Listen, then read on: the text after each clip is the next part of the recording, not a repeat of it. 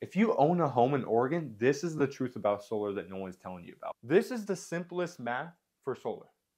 Let me show you the main two power companies in Oregon. We have PGE and Pacific Power, right? The last four years alone, PGE 11, 7, 18, 5.5%, totaling 41% in four years, making that a 48%, almost 50% increase since 2022. Pacific Power, it's a, it's a little worse. We have 15, 21, 13, 9.8, in total 58.8% increase in total over those four years, making it a 78% increase because of the compounding effect since 2022. Let me ask you this. If there was a way to lock in your price that you're paying for power and then put an end date to paying for power on the home, would you do it? Because you're paying for power no matter what. Whether it's from PGE, Pacific Power, or going solar, you're going to pay for power. And what you're going to pay matters. The real question is, was it costing you not to go solar? I know that's a little weird question, but I did some numbers. We have around an average of a $200 utility bill.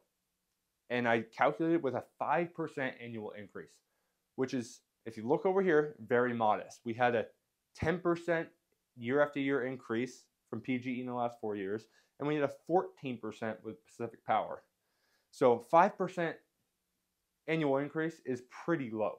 But let's just run through the numbers. So in five years, you're going to be paying $13,153. Remind you, this is all a loss. You're not getting anything out of this. This is just giving money to PGE to pay for the CEO's yacht, pretty much. So in 10 years, you're going to be spending $30,146, right? Year 20, 78, 880. Now, I don't know about you, but this number scares me right here. $154,870 to the utility provider. What do you see out of that? So Luke, how, how does this all work? How, do, how does solar work for my house, right? We have the sun, the biggest fusion reactor in the sky there is. This thing comes every single day, leaves every single night, super reliable. That shines down on the panels. The panels are on your home. Then is turned into electricity. That powers your home, powers your dishwasher, powers your washing machine, powers the lights, right? And then it is transferred into the meter. You've probably seen the meter on the side of your house, right? Now that meter goes forward and backwards.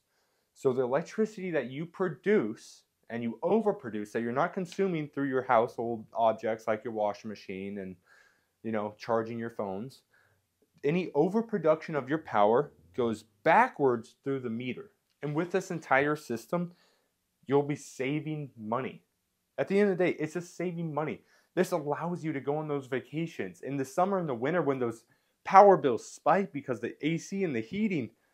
You're going to be saving that money. You can get more Christmas gifts for your children. You can go on to that summer cruise that you wanted to do. It's really just about saving money. Now let me let me really break it down, right? You have a power bill no matter what. Let's just say for this happenstance, make it even, it's $200. $200 that you're paying the power company. Right now, there's two options. Option one, which you're probably currently doing, is you're paying the utility company negative money every single month. Every single month, you pay them for your power. You don't know how much you're going to pay them until the very end of the month where they send you a statement, right? And you're going to pay the utility company.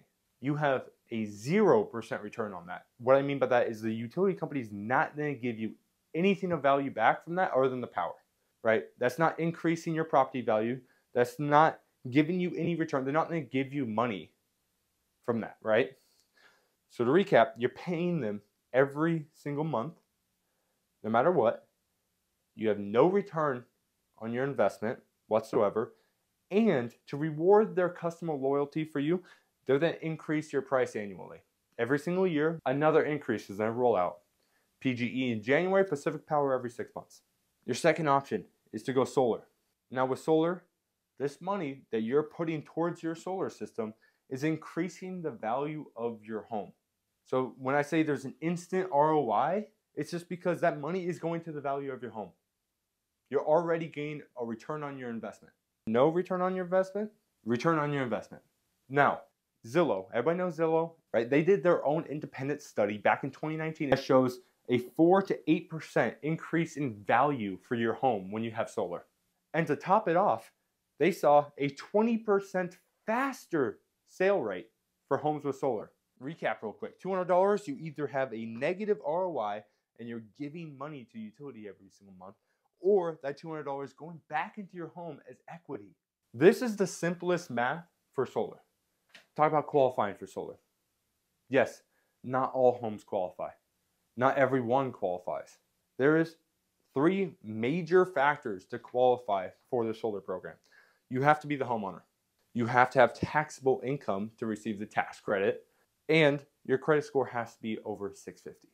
Now, those are just the main three qualifiers for the program. Obviously, roof space and shading have effect on the program, but that's why we build you out a report because you don't even know that until we can do an analysis on your roof, which is free, by the way. Let's end it with some frequently asked questions. And this is what I get a lot from most of the homeowners out there. So if you have any other questions, just message me below. How much is the tax credit? Right now, it's 30%. 30% federal tax credit for going renewable. That's 30% of the entire system cost. This is the highest tax credit solar has ever seen, making it more affordable to everyone.